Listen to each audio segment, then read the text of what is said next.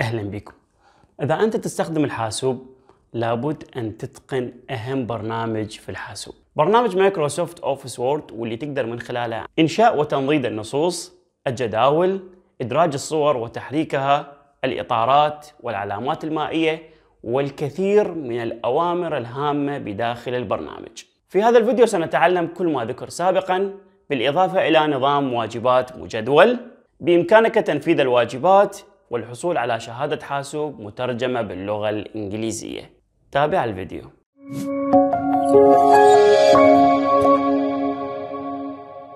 أهلا وسهلا بكم في هذا الفيديو التعليمي اللي راح نتعلم من خلاله برنامج وورد خلال نصف ساعة فقط. طبعا في هذه المحاضرة راح نتعلم هذا البرنامج الرائع والعملاق بشكل مكثف واحترافي في نفس الوقت. أيضا راح نشرح بعض الأمور المهمة اللي ممكن نحتاجها في استخداماتنا الشخصية والمهنية. وكذلك راح يكون في نهاية هذه المحاضرة راح نبين مجموعة من الواجبات. وطبعا هذه الواجبات يمكن تنفيذها من قبلكم. حتى يتم منحكم شهادة مترجمة باللغة الإنجليزية ممكن تستفادون من عندها من خلال السي في. طيب طبعا برنامج وورد بعد ما انفتحه راح تظهر عندي هذه الواجهة لمختلف النسخ سواء كانت 2007 أو 10 أو 2013 16 19 وهكذا. طبعا الواجهة سهلة جدا وبسيطة بإمكاننا أنه نتعلمها بكل سهولة. طبعا أول ما نفتح البرنامج عندنا هذه ورقة العمل واللي هي طبعا الجزء المهم في البرنامج. طبعا هنا بالأسفل عندنا هنا علامة الزائد والناقص. هذه الجزء يصغر لي الورقة عرضها ويكبر لي عرض الورقة. طيب الجزء المهم اللي بالبداية لازم نتعلمه بالصفحة الرئيسية. عندنا هنا هذا الجزء بهذه المنطقة. عندنا هنا اتجاه الورقة ضروري جدا. إذا إحنا نريد نكتب نص إنجليزي نختار اتجاه هذا من اليسار إلى اليمين. وإذا نريد نكتب نص عربي ضروري نختار هذا الاتجاه اللي هو من اليمين لليسار. ليش؟ إن شاء الله راح نتعلم آه لاحقا آه الفكرة من استخدام الاتجاه وشنو المشاكل اللي ممكن تحصل إذا استخدمنا اتجاه ورقة خطأ. طبعا بما أنه راح نكتب عربي فراح نختار الاتجاه اللي هو من اليمين. طيب في البداية راح نكتب مثلا بسم الله الرحمن الرحيم. راح نبدا بها الدورة. طبعا الكتابة تتم بشكل سهل من خلال ال keyboard. أيضا في حال لو ردنا نمسح طبعا عملية المسح تتم من خلال خيارين. الخيار backspace اللي راح تظهر صورته أمامكم على الشاشة. هذا هو الخيار backspace يمسح وأيضا delete يمسح. ولكن الفرق ال backspace تمسح من النهاية. يعني إذا أجي هنا بالنهاية وأضغط backspace راح أمسح. أما إذا اريد أمسح من البداية فأمسح من خلال ال delete. يعني إذا أخلي الماوس هنا بالنهاية أضغط backspace أمسح. إذا أريد أمسح من البداية أضغط backspace ما يمسح. ليش؟ لأن backspace تمسح إلى يعني إلى الخلف من النهاية. إذا أريد أمسح من البداية أمسح من خلال ال delete اللي راح تظهر صورتها أمامكم أيضا. آه بعد ما كتبنا آه بسملة راح نعيد النص وراح نكتب آه مثلا عالم بهاء الاحترافي. طبعا هذا النص هم ممكن نجري له التعديلات والتنسيقات إذا ما نظلله طيب كيف نظلل النص؟ طبعا نجي هنا من اليسار نحدد النص بهذه الطريقة. نحدد النص. طبعا نحدد كليك من اليسار ونبقى ضاغطين ونحدده بهذه الطريقة.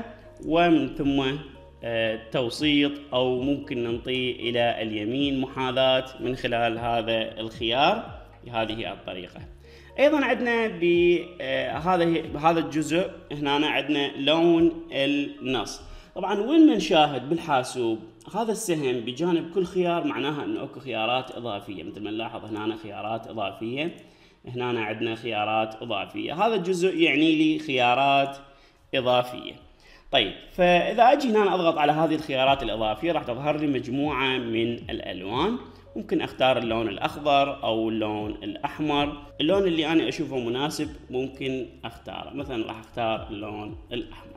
طبعا عندنا هنا بهذه المنطقة عندنا هنا bold اللي تسوي لي النص غامق italic اللي تسوي لي النص مائل مثل ما نلاحظ وهنا underline اللي تضيف لي خط. طبعا هذه تستخدم للعناوين والأمور المهمة بالنصوص. ممتاز. طبعا إحنا هسه تعلمنا جزء مهم جدا وسهل جدا أيضا بالبرنامج. طيب بعد ما كتبنا النصوص ضروري كل شخص يكتب سورة من سور القرآن الكريم سورة الحميد مثلا سورة الإخلاص التوحيد أي سورة آه، سهلة وبسيطة قصيرة يكتبها يطبعها بشكل كامل حتى تقويه بالطباعة. لأن السور القرآنية مكتوبة بحروف قوية وبلغة عربية سليمة بالتالي ممكن راح تكون الطباعة سريعة وممكن تسهل عليه عملية الكتابة أو الطباعة.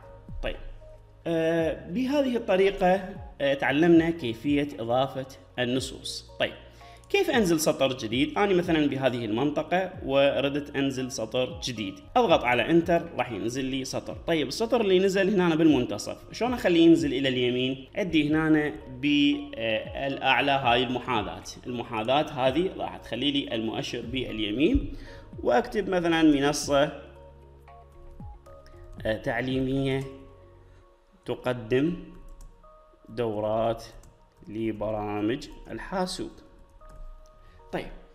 طبعا آه، هنا إذا ألاحظ إنه النص bold لازم أحدده. طبعا التفضيل يا إما أضغط عليه double click راح يتظلل يا إما أجي أضغط هنا من اليسار click وأبقى ضاغط على ال click وأسحب إلى اليمين. عندي هنا bold ممكن أتخلص من عند ال bold أخليه نص عادي.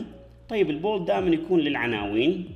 آه، ممكن أغير اللون أسويه أسود مثلا. بهذه الطريقة. طيب لو ردت أنزل سطر راح أنزل سطر.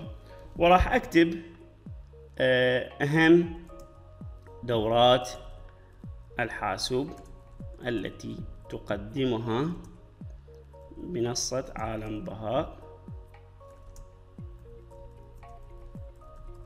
طيب الآن أريد أجري آه، تعداد يعني أريد أعدد مجموعة من الدورات. يعني ما يصير أجي أكتب مثلا آه، دورة Excel دورة Photoshop. يعني الأفضل إنه آه، التعداد يكون بشكل تعداد رقمي. طيب شلون أسوي تعداد رقمي؟ عندي طريقتين.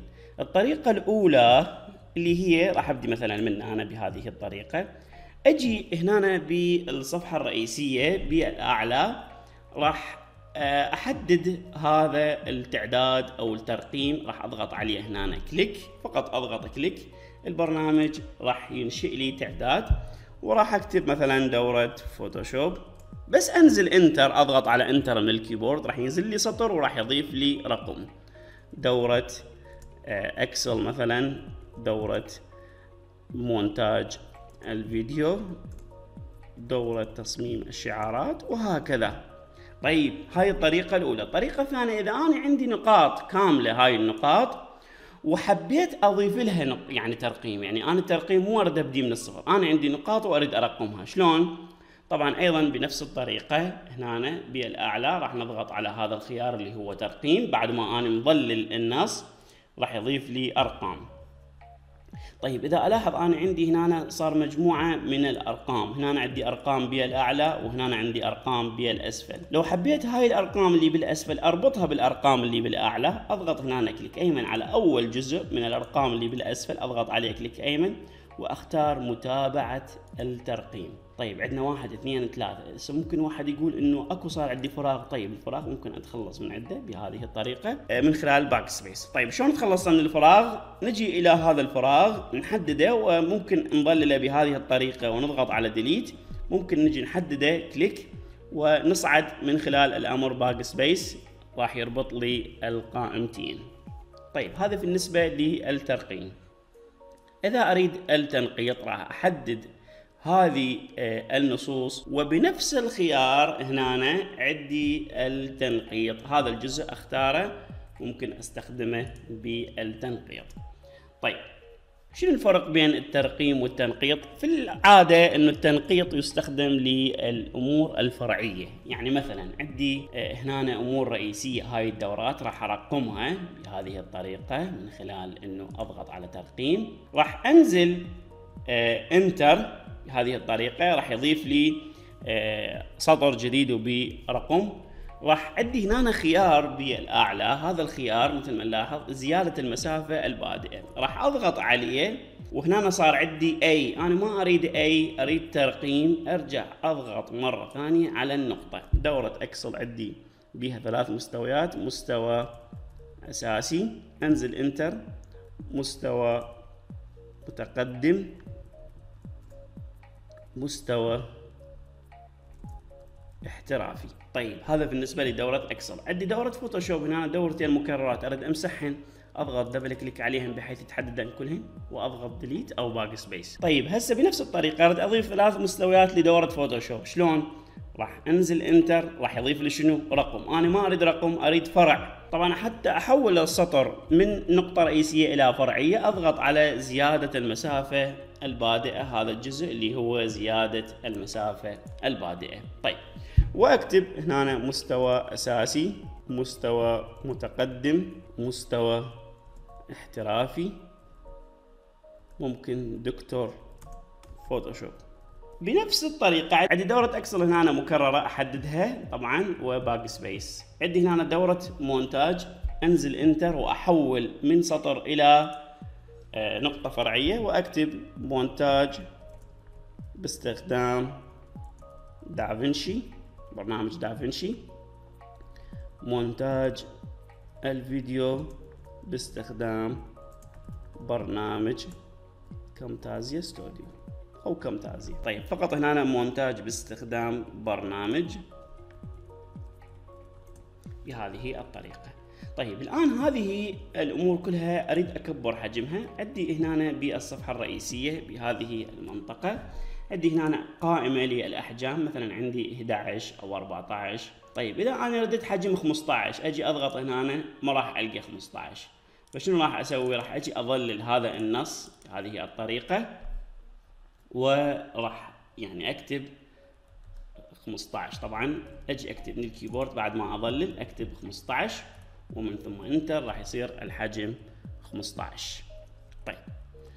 طبعا آه بهذه الطريقة لو حبيت أصغر الورقة بهذا الشكل.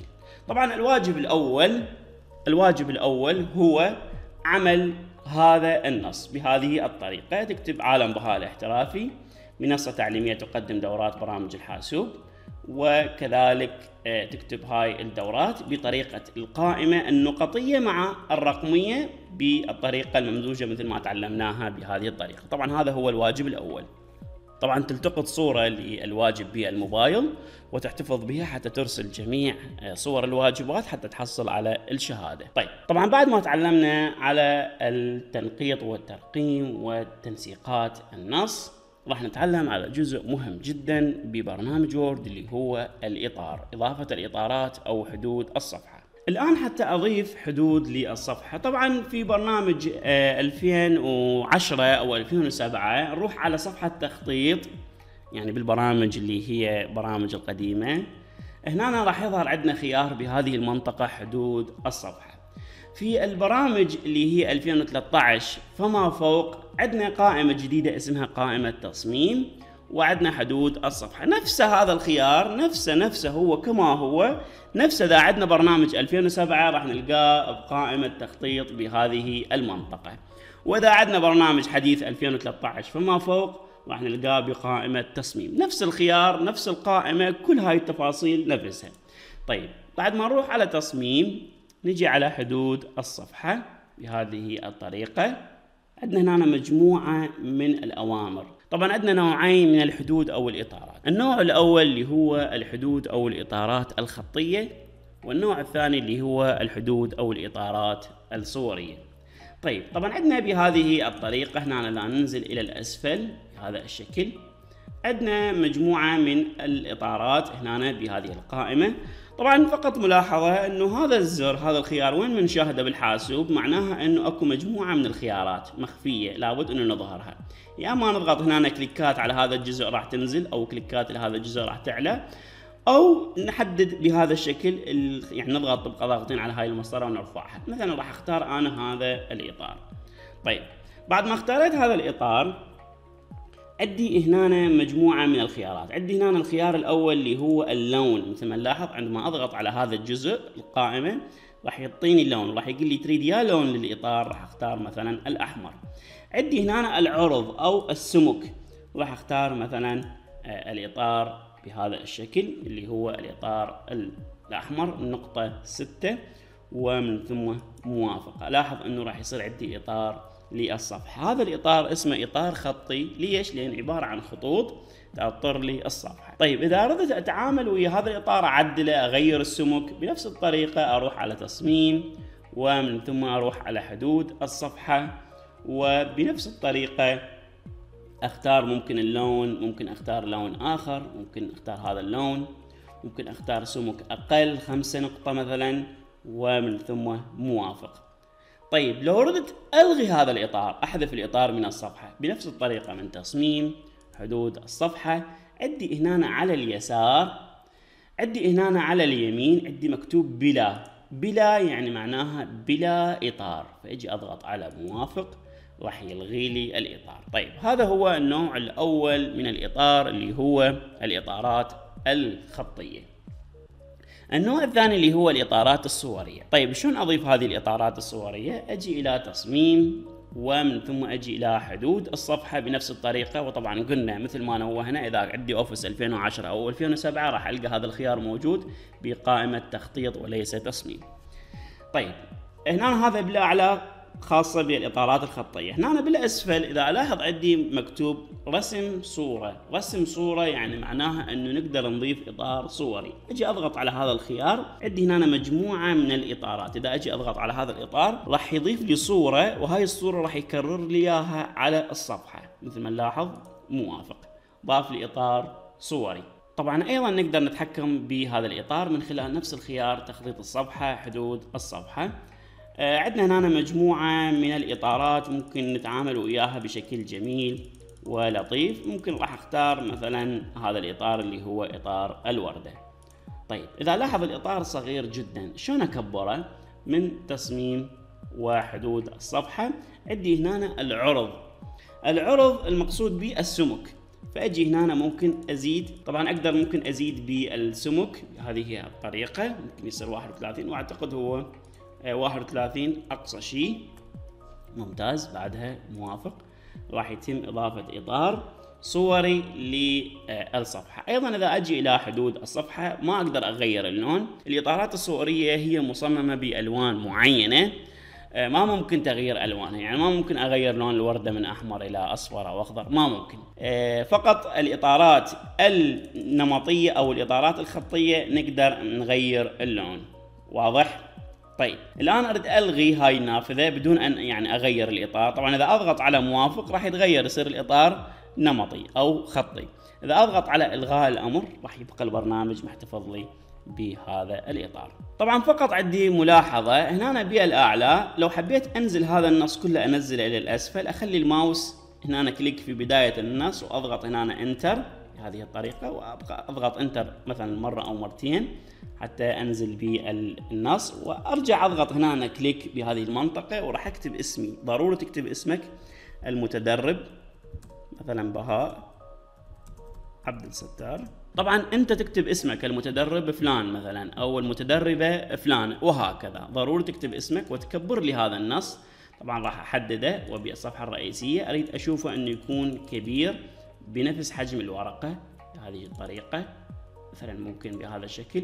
وأريد اللون يكون آه، لون أسود بهذا الشكل. طيب الآن عندي فراغ بهذه المنطقة. حتى أتخلص من هذا الفراغ راح أجي أضغط هنا كليك. وطبعا بال backspace مثل ما تعلمنا راح أقدر أصعد. آه راح تصعد لي النص. عالم بها الاحترافي أريد حجمها يكون مثلا 40 طيب إذا ماكو 40 شلون؟ أجي أختار مثلا 48 وأجي هنا أكتب 40 ومن ثم enter من ال keyboard. طيب الآن آه بهذه الطريقة راح أصغر العرض. الواجب الثاني هو يكون بهذا الشكل. كل متدرب يكتب لي اسمه الثلاثي مع إطار إطار آه، أي إطار نمطي أو خطي بهذه الطريقة. وإضافة هذا النص اللي تشوفوه أمامكم. هذا النص هو نفسه يضاف. هذا هو الواجب الثاني. طبعا أيضا تلتقط صورة للواجب وتحتفظ به مع الواجب الأول حتى بنهاية الدورة راح نبين إنه كيف آه، ترسل الواجبات وحتى تحصل الشهادة خاصة ببرنامج Word ممكن تستفاد من عندها بال CV. طيب آه، الآن راح نشرح آه، موضوع جديد ببرنامج Word اللي هو الجداول. الجداول من الأمور المهمة جدا جدا في برنامج Word وكثيرة الاستخدام ودائما في المقابلات يسالونا عن الجداول. طيب حتى أمسح هذا النص كله آه، سهل جدا يا أما أجي أحدده بالأسفل وأصعد إلى الأعلى يعني أجي أحدد من الأسفل للأعلى بهذه الطريقة وأضغط على delete يا أما أضغط على المفتاح control مع المفتاح حرف A طبعا control من ال keyboard موجود باليسار آخر زر باليسار control و A من ال keyboard. راح يتظلل النص كله بشكل كامل وأضغط على delete طيب راح أتخلص من الإطار من خلال تصميم أو تخطيط حسب النسخة ذا 2007 أو 2010 من تخطيط وذا 2013 فما فوق من تصميم. أجي على حدود الصفحة وأختار بلا بهذه الطريقة. طيب راح أرجع إلى قائمة الصفحة الرئيسية. أنتبه إلى اتجاه الورقة. أنا أريد أضيف جداول عربية. لابد أنه أختار الاتجاه اليمين هذا اتجاه ورقة من اليمين إلى اليسار. طيب حتى أضيف جداول أجي إلى قائمة إدراج بهذا الشكل. نجي إلى قائمة إدراج بهذه الطريقة. وطبعا آه نجي ننزل إلى عندي هنا خيار اسمه جدول. هذا الخيار اللي هو سواء كان عربي اسمه جدول أو بالإنجليزي اسمه table بنفس الطريقة نفس الايقونه نفس الصورة وطبعا قائمه إدراج إذا كان إنجليزي اسمها insert طيب نجي هنا إلى هذا الجزء. طبعا قلنا إحنا هذا السهم وين ما نشوفه بالحاسوب؟ معناها إنه أكو خيارات إضافية. إذا أجي أضغط على هذا الخيار. طيب عندي هنا مجموعة من المربعات. وعندي هنا إدراج جدول وعندي رسم جدول. طبعا هذه طريقة المربعات سهلة. ولكن آه، ضروري جدا إنه حاليا خلي نتركها. خلينا نجي إلى إدراج جدول. طيب بعد ما نجي إلى إدراج جدول هنا راح يطلب من عندي عدد الأعمدة وعدد الصفوف. طيب شنو هي الأعمدة وشنو هي الصفوف؟ راح أضيف جدول هسه بس حتى أشرح شنو هي الأعمدة وشنو هي الصفوف. أجي أضغط على موافق طيب إذا لاحظ إنه هنا تم إضافة جدول. هذا الجدول يتكون من مجموعة من الأعمدة. الأعمدة هذه الخطوط العمودية هذه الخطوط العمودية اللي هي تشبه العمود. واحد اثنين ثلاثة أربعة خمسة. فإذا هذا الجدول يتكون من خمسة أعمدة. طيب كم صف الصفوف اللي هي هذه المربعات الأفقية؟ مثل ما نلاحظ هذا الصف الأول وهذا الصف الثاني. طيب يعني هذا كله هذه المربعات كلهن يسموهن صف. فإذا هذا الصف الأول وهذا الصف الثاني. طيب إذا أنا أريد أضيف جدول يتكون من ست صفوف وأربعة أعمدة. ست صفوف وأربعة أعمدة. طيب أولا كيف أتخلص من هذا الجدول؟ أجي أضغط على هذه الزائد هنا اللي أشوفه بهذه المنطقة. هذه المنطقة أجي أضغط على هذا الزائد أضغط عليها كليك. أيسر أول مرة. ومن ثم اضغط كليك أيمن على الزائد يعني أول مرة أيسر بعدين أيمن أو بشكل مباشر أضغط أيمن. وعندي هنا خيار اللي هو حذف جدول. حذف جدول راح يحذف لي الجدول.